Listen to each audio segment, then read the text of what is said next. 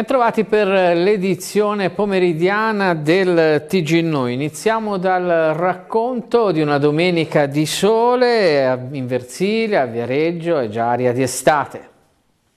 La temperatura fuori si sta bene, dentro l'acqua è marmata. Sì. Più che la prima domenica di aprile è sembrata una domenica di fine maggio, temperature quasi estive, un sole che ha attirato migliaia e migliaia di persone in Versilia per un primo assalto alle spiagge decisamente fuori stagione. A Viareggio passeggiata sold out, la fila fuori dai ristoranti e lungo il molo per assicurarsi un piatto di fritto alle 3 del pomeriggio fa capire il livello di afflusso turistico, in un weekend di sole che ha ripagato il mezzo flop del Ponte Pasquale bagnato dalla pioggia. In spiaggia molti, grandi e piccoli, hanno serenamente fatto il bagno. Però è freschina, è un po' freschina, però diciamo che magari se ti tuffia si sta da dire, guarda, sono venuto ieri, giornata spettacolare come oggi, si sta benissimo, speriamo che duri il tempo. Una prova generale di estate in nettissimo anticipo che ha trovato la spiaggia ancora in veste quasi invernale, pochissimi gli stabilimenti balneari già pronti, del resto chi ha licenza stagionale e non annuale può aprire soltanto dopo il 15 di aprile, ma chi ha scelto di allestire già ombrelloni e sdraio, riservati ai soli clienti dei ristoranti, ha registrato il tutto esaurito. E veramente abbiamo assaggiato sia oggi che ieri due giornate prettamente estive, noi insomma come vedete abbiamo già montato un pochino la spiaggia, la scelta di partire partire prima è una scelta un po' complessa perché comunque è anche un rischio, un rischio diciamo, imprenditoriale perché comunque non è detto che il tempo ci dà la possibilità di avere una certezza sul sole, però insomma io credo che bisogna crederci, credere nel nostro lavoro e dare comunque come ho detto prima al turista la possibilità di venire al mare anche se poi non è bellissimo il tempo però viene a mangiare, si siede al ristorante, fa una passeggiata, vede che comunque le strutture sono aperte, è quello che conta. Rimaniamo a Viareggio dove però il proseguimento dei lavori in piazza Zara sta facendo preoccupare i balneari che si affacciano su Terrazza della Repubblica. È ancora tutto fermo in piazza Zara. Nonostante le sollecitazioni da parte dell'amministrazione comunale, la ditta vincitrice dell'appalto non ha ancora ripreso i lavori, interrotti a causa del rinvenimento di una tubatura d'amianto che tuttavia non ha comportato una contaminazione dell'area, come certificato dalle analisi dell'ASL. E adesso, a ridosso dell'inizio della stagione balneare, tra i titolari delle attività che si affacciano sul cantiere cresce la preoccupazione. Caso emblematico quello del bagno Zara, che ha un accesso pressoché inesistente. Il fatto è che qui siamo sempre in queste in, in, in, in, questa zona qui che ormai è diventata un campo di battaglia, non c'è più... Voi fra l'altro non avete neanche l'accesso in qualche maniera? Abbiamo un accesso che è di 50 centimetri, mm, diciamo un metro. Altro disagio, non da poco, l'impossibilità di sbarazzarsi dei macchinari danneggiati durante la mareggiata di novembre, che restano così all'ingresso dei bagni in attesa di un possibile accesso da parte dei mezzi per il loro smaltimento. Nonostante ci sia stata un'alluvione che ha portato un sacco di danni, non abbiamo neanche la possibilità di ripristinare le cose e alle soglie della, della stagione mi sembra che sia una cosa abbastanza ecco, inficiante. Tra l'altro qua i ristoranti degli stabilimenti sono a licenza annuale, ma non è stata possibile l'apertura proprio a causa del cantiere della piazza. Noi siamo dovuti star chiusi perché io avrei voluto aprire a, avrei voluto aprire a, a Carnevale per eh, poter dare un servizio anche per i clienti, anche per, mm, solamente per un discorso di facciata, no? anche per poter farsi vedere. Il problema è che non c'è stata data la possibilità, perché come ripeto la situazione è abbastanza eh, importante. Ci spostiamo, andiamo in centro storico a Lucca dove nel fine settimana ha tenuto banco insieme al film che stanno girando Dustin Hoffman ed Ellen Hunt, Verde Mura. È già stata ribattezzata un'edizione da Oscar, una definizione quanto mai calzante da interpretare, almeno questa volta, nel senso letterale del termine. Sì, perché quest'anno Verdemura ha registrato numeri importanti, con 20.000 presenze in tre giorni, 2.000 in più del 2023, e un sold out delle piante in mostra che ha costretto, si fa per dire, gli espositori a correre a fare rifornimento proprio alla vigilia della giornata giornata di chiusura. Se poi si aggiunge che quest'anno a far visita alla mostra Mercato del Giardinaggio si sono presentate anche due star hollywoodiane che l'Oscar l'hanno vinto per davvero, allora il richiamo alla celebre statuetta risulta quanto mai azzeccato. I due protagonisti del film di Peter Greenaway, impegnati proprio in questi giorni nelle riprese in città, hanno entrambi visitato infatti Verdemura.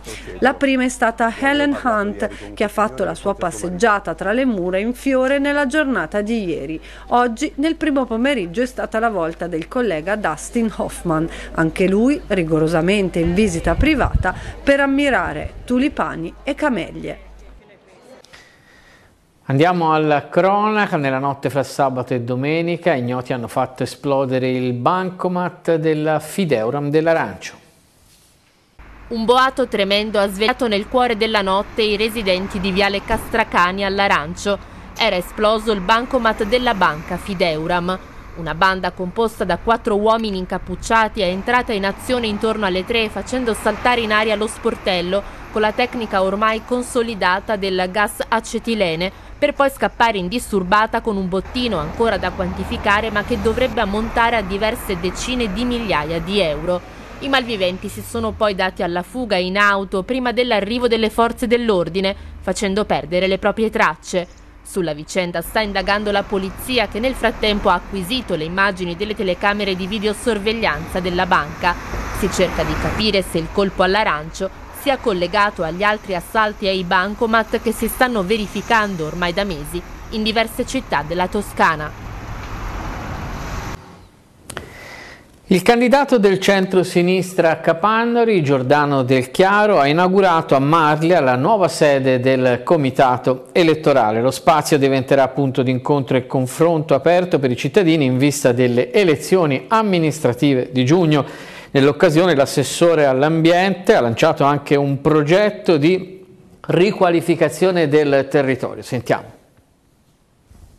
Strade vivibili, un progetto che risponde a un'esigenza sentita, quella eh, della vivibilità dei centri abitati che spesso si trovano a convivere con situazioni eh, anche di commistioni con aree produttive, l'impegno del Comune è quello di realizzare tante infrastrutture dalle rotonde, attraversamenti rialzati, incroci rialzati, isole pedonali che consentano a ciascun cittadino di vivere meglio eh, nel, nella propria zona, nella propria strada e di avere paesi sempre più a misura di tutti i cittadini di Capannari.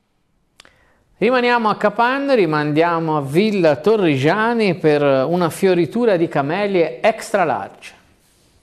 Bilancio positivo a Villa Torrigiani per la fioritura delle camellie 2024.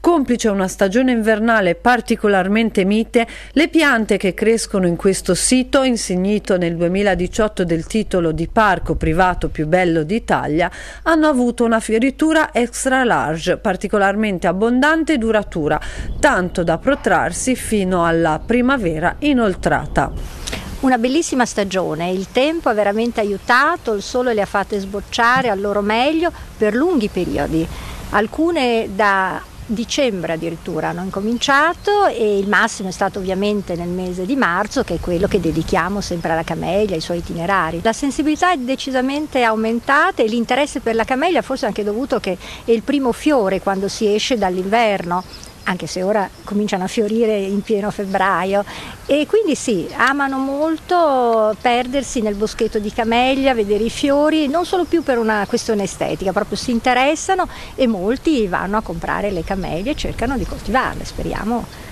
ci riescano. Tanti turisti che visitano ogni anno la villa e il suo parco, che vanta tra le sue camellie anche esemplari piantumati oltre 200 anni fa particolarmente numerosi, almeno finora, i turisti tedeschi, mentre mancano ormai da diversi anni le comitive di studenti. Di qui l'appello alle istituzioni scolastiche affinché tornino a organizzare, come accadeva una volta, uscite didattiche a Villa Torrigiani, una meta in grado di conciliare storia e natura.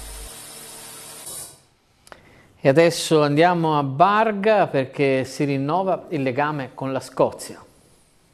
Barga sempre più legata alla Scozia grazie ad una nuova importante visita istituzionale prevista nei prossimi giorni, ma anche con la nascita dell'associazione Barga Scott, che in patria avrà il compito di arricchire e far crescere sempre più questo rapporto. La presentazione del viaggio e dell'associazione nella sala consiliare a cura della sindaca Caterina Campani e di alcuni componenti dell'associazione, di cui è presidente Stefano Orsucci. Barga Scott è un progetto pensato e voluto fortemente dalle persone che in questi ultimi anni si sono impegnate in collaborazione con l'amministrazione comunale a far divenire lo Scottish Weekend di settembre uno degli eventi più importanti del capoluogo. L'obiettivo è contribuire in collaborazione con istituzioni, enti pubblici e privati e altre associazioni alla promozione culturale, culinaria, musicale, delle tradizioni storica e sociale del rapporto tra Barga e la Scozia mediante l'attivazione di tante iniziative. Oltre all'associazione si è parlato dell'imminente viaggio in Scozia della sindaca con la sigla dei patti di amicizia tra il comune barghigiano, il comune di Glasgow e la contea del Sud Ayrshire approvate a marzo dal Consiglio Comunale di Barga, saranno siglati il 15 aprile ad Ayr ed il 16 aprile a Glasgow, dopo uno speciale concerto pucciniano organizzato dal Comune di Barga in collaborazione con l'associazione Lucchesi nel Mondo. È tutto per la prima parte del TG, ci fermiamo, un breve break e poi la pagina sportiva.